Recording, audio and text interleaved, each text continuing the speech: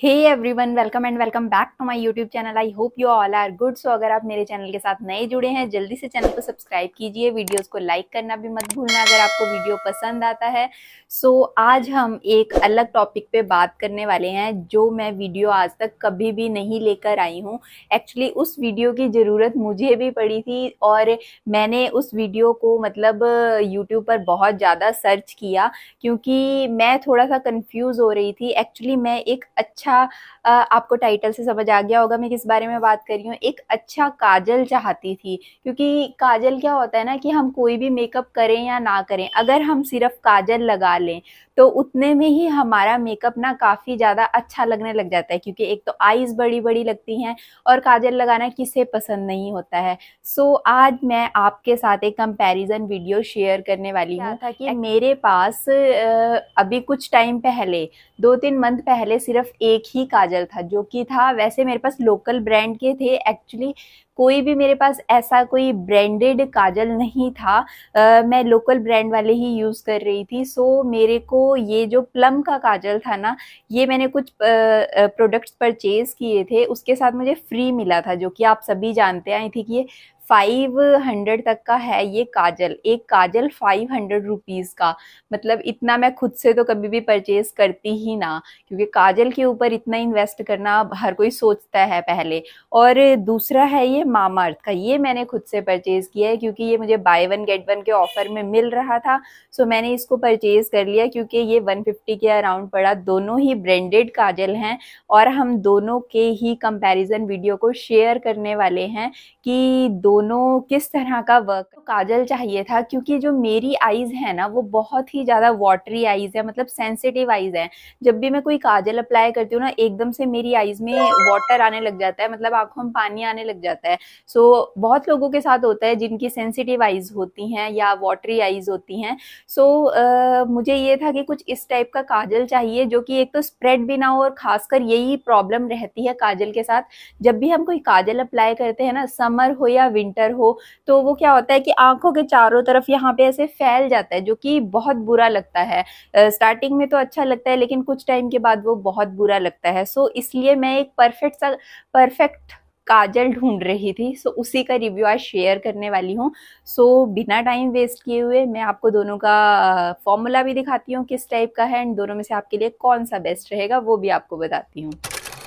So guys you can see the product Mamaearth charcoal black long stay kajal with vitamin C and chamomile vitamin C and chamomile हमारी eyes के लिए बहुत अच्छा होता है and ये जो प्रोडक्ट है dermatology tested chemical free product है, जैसा कि मामा अर्थ के सभी प्रोडक्ट्स होते हैं। और अगर इसके प्राइस की बात की जाए, ये टू नाइन्टी नाइन रुपीज़ का है but buy one get one के ऑफ़र में मुझे वन फिफ्टी के अराउंड ये पड़ गया था तो इसीलिए मैंने इसको परचेज़ कर लिया था।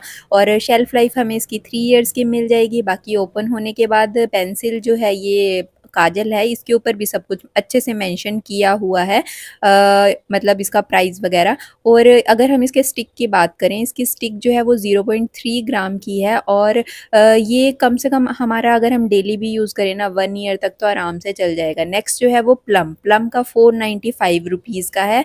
और ये इसमें ऐसा कहा गया है कि ये खोल काजल है खोल काजल है और ओल्ड डे तक ये रहता है हमारी आइज़ पर। बाकी तो इसका मैं एक्सपीरियंस शेयर करूँ करूँगी और दिखने में ही कितना ज़्यादा बोल्ड लग रहा है बोल्ड ब्लैक लग रहा है ये। और अप्लाई करने के बाद भी ये एकदम मतलब डार्क वाला ब्लैक कलर देता है। और जो मामा अर्थ का है, अगर हम मामा अर्थ को कंपेयर करें तो मामा अर्थ का कंपैरेटिवली थोड़ा सा लाइट है। और हाँ प्लम प्लम की वैसे मेरे पास पैकेजिंग नहीं है बट इसके साथ हमें शार्पनर भी फ्री मिलता है एंड मामा अर्थ में ऐसी कोई नीड ही नहीं है। बट दोनों के कलर में बहुत ज़्यादा डिफरेंस है।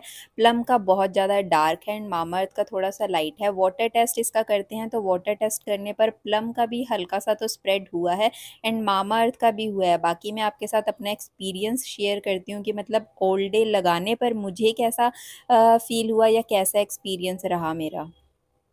सो so, चलिए मैं आपके साथ अपना एक्सपीरियंस शेयर करती हूँ। मेरा एक्सपीरियंस ये रहा कि जैसे मैंने मामा अर्थ का यूज़ किया वो अभी रिसेंटली ही यूज़ करना स्टार्ट किया है। पिछले एक मंथ से मैं कभी कभी यूज़ कर लेती हूँ। वैसे तो जब भी मतलब वीडियो शूट करना होता है तो काजल तो मैं अप्लाई करती ही हूँ।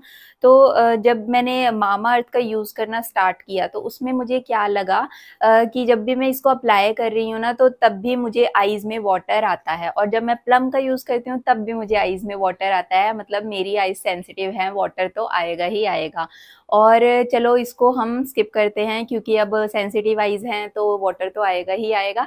थोड़े टाइम के लिए हमें एडजस्ट करना पड़ेगा। बट ये है कि ऐसे कोई रेडनेस नहीं आती आँखों में दोनों ही आ, काजल से हमें कोई आँखों में रेडनेस नहीं होती कोई बर्निंग सेंसेशन फील नहीं होती है दोनों ही काजल परफेक्ट हैं।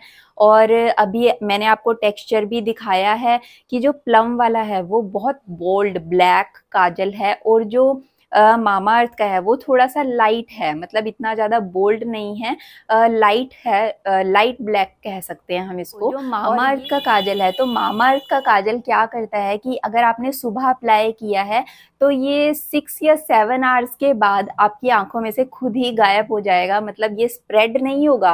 मतलब आँखों के चारों तरफ़ ऐसे फैलेगा नहीं बिल्कुल भी बट ये खुद ही गायब हो जाएगा। आपको पता ही नहीं चलेगा कि आपने सुबह काजल लगाया था या नहीं लगाया था। खैर मुझे इसका ये प्लस पॉइंट ही लगा, क्योंकि हम रीअप्लाई कर सकते हैं बट आँखों में फैलना नहीं चाहिए, क्योंकि वो बहुत बुरा लगता है, अगर आँखों में काजल फैल जाता है।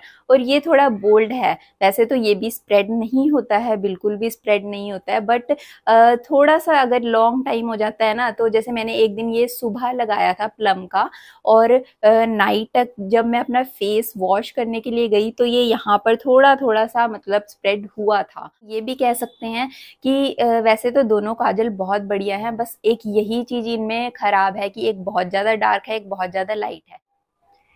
सो so, अगर आप बोल्ड काजल चाहते हैं तो आप प्लम का यूज़ कर सकते हैं और ये लॉन्ग टाइम तक भी स्टे करता है। मतलब ये अपने आप से गायब नहीं होगा।